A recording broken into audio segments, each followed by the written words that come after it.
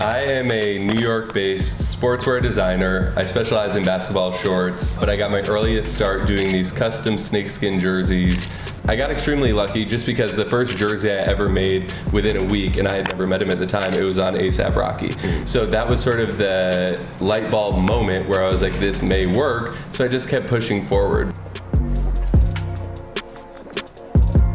I went to FIT, the Fashion Institute, for all four years, and I sort of used FIT as a vehicle to meet people in the world that I wanted to enter. So I met people that made patterns, I met people that knew how to cut and sew, all of that, and I sort of assembled a small team to sort of run with and get things going, even though I had no prior background in manufacturing.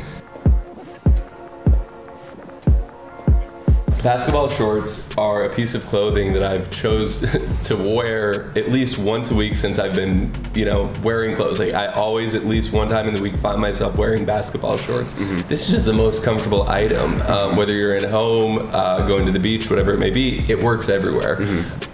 I've never really made a black short. Mm-hmm. So we're gonna do a black, almost Oakland Raiders, black, gray, silver, everything, um, basic short. It was pretty much the only item we were running this summer consistently. So now this is the Grailed iteration. You can only get this on Grailed